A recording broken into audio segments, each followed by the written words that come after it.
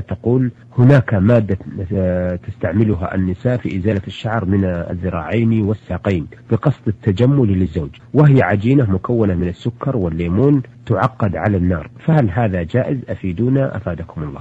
إزالة شعر الذراعين الأولى ألا تفعل وذلك لأن الشعور التي في البدن تنقسم إلى ثلاثة أقسام قسم أمر الشرع بإزالتها فتزال وذلك شعر العانة وشعر الإبطين فالعانة تحلق وأما الإبطان فتنتفان نتفا إذا لم يشق على الإنسان. نعم. والثاني القسم الثاني شعر لا تجوز إزالته بالنتف وهو شعر الوجه. فإن رسول الله صلى الله عليه وسلم لعن النامصة والمتنمصة وهي التي تنتف شعر وجهها كالحواجب. ولو كان ذلك للتجمل للزوج فإنه محرم ولا يجوز بل هو من كبائر الذنوب. والقسم الثالث ما لم يرد الشرع بالنهي عن إزالته ولا بالأمر بإزالته فليس بمحرم لعدم وجود دليل على التحريم. نعم. وليس بمأمور بإزالته لعدم وجود دليل على إزالته. ولكن الأولى أن لا يزال نعم. لأن الأصل فيما خلق الله تعالى في البدن أن يبقى كما هو عليه. إلا إذا ورد الإذن بإزالته أو الأمر بإزالته